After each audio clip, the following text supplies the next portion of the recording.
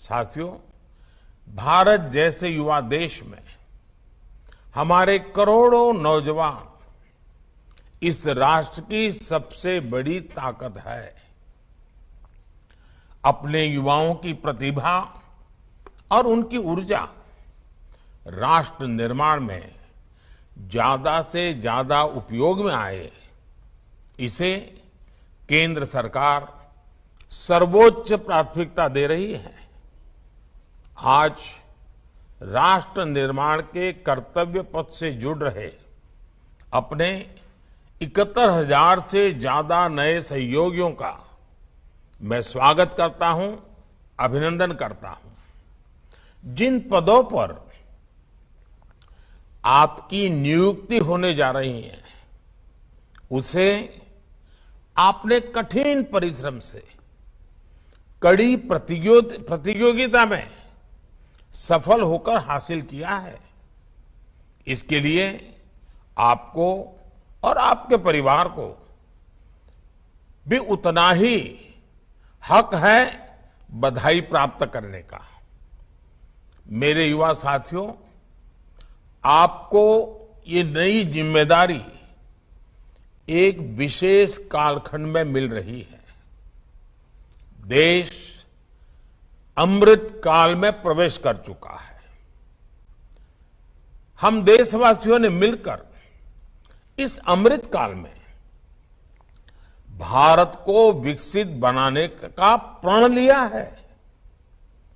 इस प्रण की प्राप्ति में आप सभी देश के सारथी बनने जा रहे हैं। आप सभी जो नई ज़िम्मेदारी संभालने जा रहे हैं उसमें आप अन्य देशवासियों के सामने केंद्र सरकार के प्रतिनिधि के तौर पर नियुक्त होंगे एक प्रकार से। ऐसे में आपको एक और बात याद ज़रूर रखनी चाहिए।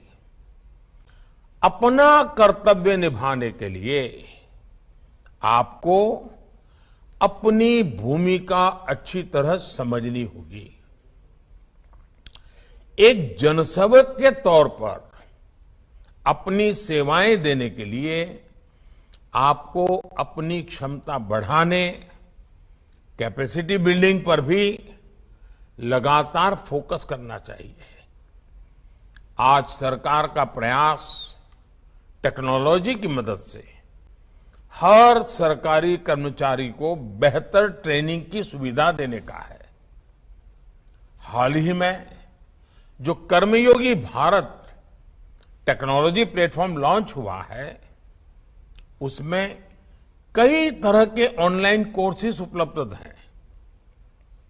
आज ही आप जैसे नए सरकारी कर्मचारियों के लिए एक विशेष कोर्स की शुरुआत भी की जा रही है।